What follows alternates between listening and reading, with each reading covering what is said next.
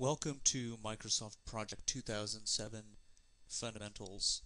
This on-demand course will cover the fundamentals of working with Microsoft Project 2007. Before we get started, you should have the following training manual in front of you, either provided by your instructor or your administrator. This course will be a combination of hands-on exercises along with quizzes at the conclusion of each module. Let's go ahead and get started.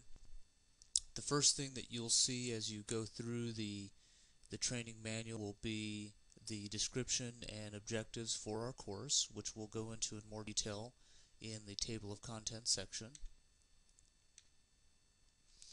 Before you get started, you want to make sure that you have the following URL available to you, which is in this first section under the student files area, which is what I'm pointing to right now.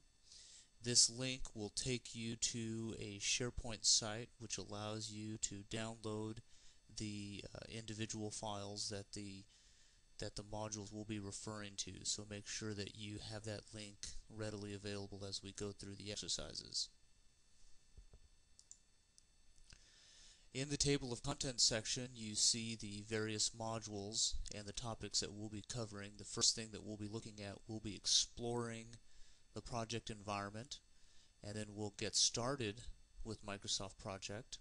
Module 3 will cover modifying and organizing a task list. Module 4 will go into shaping the schedule. Then in Module 5, modifying task dependencies, and then working with calendars using project resources, entering project costs, task type settings, resolving resource overallocations, setting constraints and deadlines, tracking project progress, and then concluding with reporting in project. So let's get started with Module 1. In Module 1, we want to become more familiar with the project environment. We'll initially start to work with views and become familiar with view types.